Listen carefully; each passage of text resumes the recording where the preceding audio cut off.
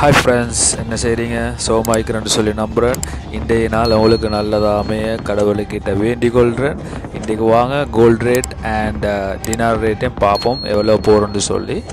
March ரெண்டாம் தேதி gold rate ஒரு கிராம் இருபத்தி நாலு கேரட் பதினெட்டு டினார் முந்நூற்றி ஐம்பது ஃபீல்ஸ் ஒரு கிராம் இருபத்தி ரெண்டு கேரட் பதினேழு டினார் அறுநூறு ஃபீல்ஸ் ஒரு கிராம் இருபத்தொரு கேரட் பதினாறு டினார் பதினெட்டு ஃபீல்ஸ்